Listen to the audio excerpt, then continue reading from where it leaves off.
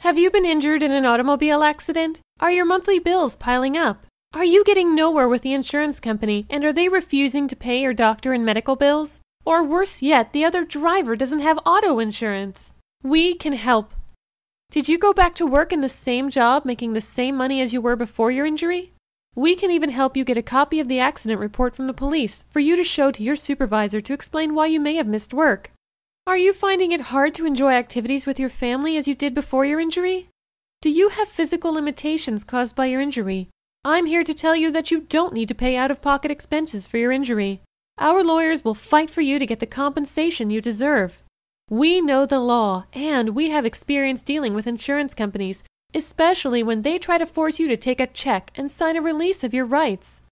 Don't accept a check before you consult with us. You may be giving up a fortune and continued medical care that you are entitled to. Don't wait another minute. Call for your free consultation today.